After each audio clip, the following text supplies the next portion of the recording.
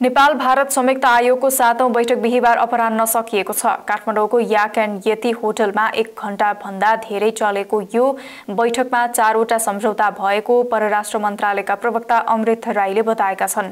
परराष्ट्र मन्त्री NP Saud र भारतका विदेश मन्त्री एस जयशङ्करको संयुक्त अध्यक्षतामा बसेको बैठकमा दुई देशका अधिकारीले चारवटा सम्झौतामा हस्ताक्षर गरेका हुन्। सहसचिव राईले बैठकपछि बोल्दै नेपाल भारत सम्बन्ध सुदृढ बनाउने कुरा भएको बताए। उनका अनुसार आगामी दस वर्षभित्र नेपालबाट भारतमा दस हजार मेगावाट बिजुली निर्यातसहित चारवटा सम्झौतामा हस्ताक्षर भएको हो। कनेक्टिभिटी ट्रेड वाटर एसोसिएट र पावर ट्रेडको कुरा भएको छ। उनले भनेका छन् दुई देशका परराष्ट्र मन्त्रीको उपस्थितिमा चारवटा सम्झौता र सहमतिमा हस्ताक्षर भएको छ। राईका अनुसार बैठकमा नेपाल भारत तीनवटा मुख्य क्रस बोर्डर ट्रान्समिसन लाइन एक सय बत्तीस केवीको उद्घाटन पनि यो बैठकमा भएको छ। रक्सौल परवानीपुर लाइन कटैया कुशवाहा र नैतनवा मैनवा एक सय बत्तीस केवी प्रसारण लाइन बैठकमा उद्घाटन भएको छ।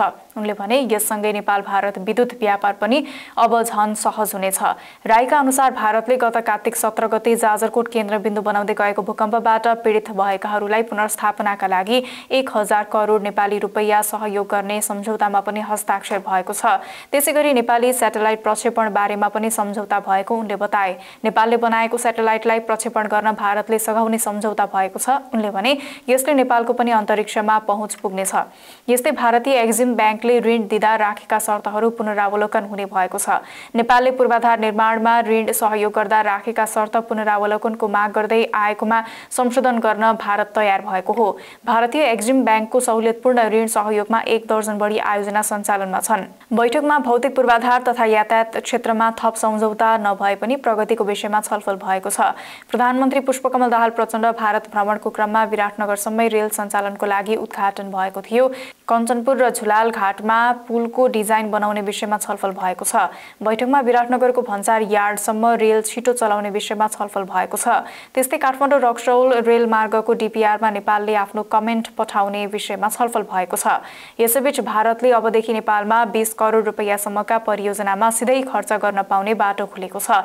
यसबारे सहमति हुने थाहा पाएपछि आलोचना भए पनि सरकारले भारतका लागि नेपालमा बिस करोड रुपियाँसम्मका परियोजनामा सिधै अनुदान दिन सक्ने सहमति पाएको हो। यो सहमतिपछि अब भारतले सिधै लगानी गर्न पाउने विकास आयोजनाको रकमको सीमा पाँच करोडबाट बढेर चार गुणा बढी अर्थात् बिस करोड पुगेको हो। यसअघि मन्त्री परिषदको गत मङ्सिर एक्काइस गतेको बैठकले भारतको अनुदान सहयोगमा बनाइने एचआइसिडिपी कार्यान्वयनका अनुदान सहयोग स्वीकार्ने निर्णय गरिसकेको छ।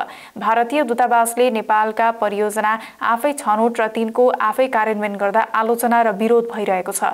नेपालमा दुई हजार उनासाठी सालपछि भारतले सिधै लगानी गर्न थालेको हो।